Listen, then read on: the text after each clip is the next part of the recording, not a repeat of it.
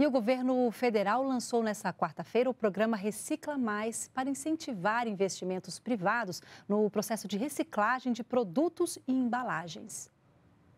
Os catadores são responsáveis por quase 90% do lixo reciclado no Brasil. Os dados são do Instituto de Pesquisa Econômica Aplicada, o IPEA. Muitos deles se organizam em cooperativas. É o caso da Maria, que abandonou o trabalho autônomo nas ruas em 2005 e se associou a esta cooperativa em Brasília. Muitas coisas mudou, né? Graças a Deus.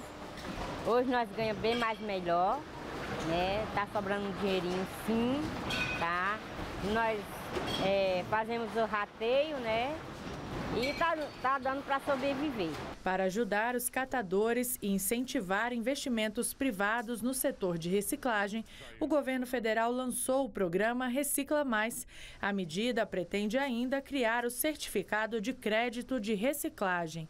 Com o novo certificado, mais de um milhão de agentes de reciclagem poderão habilitar as notas fiscais geradas na venda dos produtos. Cada tonelada equivale a um crédito, que pode ser comercializado junto a empresas. Quem comprar os recibos pode contabilizá-los como empenho de logística reversa ou processo de reinserção do material descartado na cadeia produtiva tudo de forma eletrônica. O custo vai cair em torno de 80% para as empresas privadas que fazem a logística própria de reciclagem, a logística reversa de reciclagem, e ao mesmo tempo nós vamos poder transferir 200, 200 e poucos reais para cada um desses 800 mil brasileiros que já tem um salário médio de quase mil reais.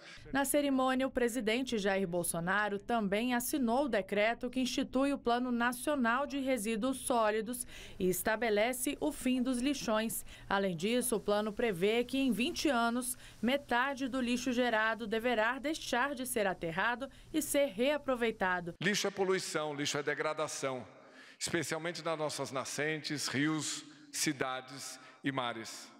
É inaceitável vermos as nossas praias e ruas cheias de lixo. O Brasil é um exemplo para o mundo na questão ambiental. O Brasil tem uma legislação ambiental que nenhum país do mundo tem e cumpre